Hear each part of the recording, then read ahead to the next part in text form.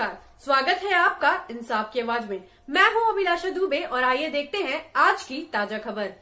साक्षी स्थित होटल कैनालाइट के निदेशक मिथिलेश झा की छत्तीसगढ़ के रायपुर में एक सड़क हादसे में मौत हो गई। जानकारी के मुताबिक, वे होटल के अन्य दो निदेशक नमलदीप और विनोद सिंह के साथ एक कार्यक्रम में भाग लेने रायगढ़ गए थे। वहाँ से होटल के तीनों निदेशक कार से जमशेदपुर लौट रहे थे। इसी बीच मंगलवार की सुबह यह हादसा हो गया। इसमें मौके पर ही मिथिलेश झा की मौत हो गई। वहीं निर्मल दीप और विनोद सिंह गंभीर रूप से घायल हो गए हैं। इसमें निर्मल दीप की हालत बेहद गंभीर बताई जाती है। इधर दुर्घटना की जानकारी मिलते ही जमशेदपुर में परिवार सहित परिचितों में शोक की लहर दौड़ गई है। फ़िलहाल मिथिलेश झा के परिजन समेत अन्य लोग रायगढ़ के लिए रवाना हो गए हैं।